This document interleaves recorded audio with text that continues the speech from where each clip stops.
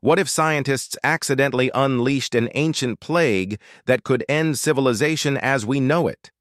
In Antarctica, researchers have already discovered viable bacteria and viruses preserved in ice for millions of years.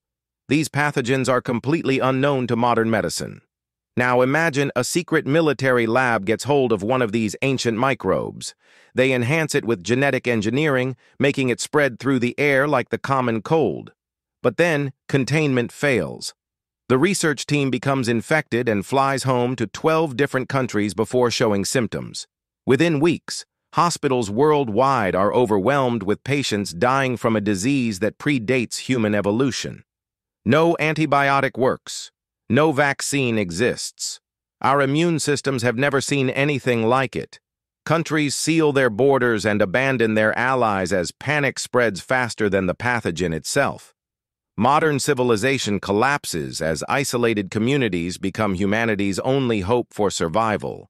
The terrifying truth?